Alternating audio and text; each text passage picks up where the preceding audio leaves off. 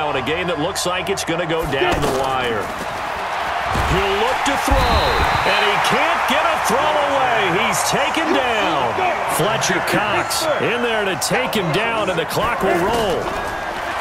Back to throw. Oh, he's got a man wide open, complete. And he'll be corralled well upfield right around the 40-yard line. He's back to throw. Wide open receiver complete. And he's going to get this all the way down inside the 35. That'll be marked as a 27-yard pickup. And two big plays, one after the other. Now all of a sudden, they're on the march. Got to feel good about what they've just gotten done, and now feel really good about what's in front of them. Now Manning. And, oh, a crusher there as it's intercepted. Picked off by the linebacker, Nigel Bradham. And they will finally get him as he's all the way down near the 40-yard line.